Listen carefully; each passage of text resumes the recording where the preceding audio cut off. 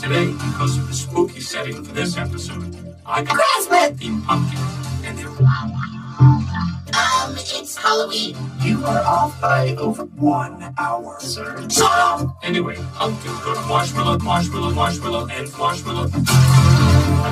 My home is safe Halloween. to celebrate the Halloween special. Dude, it's not Halloween. Perhaps if I set the mood. Place, place, Halloween. If I set the mood. Perhaps if I set the mood. Oh, don't get me started on that one.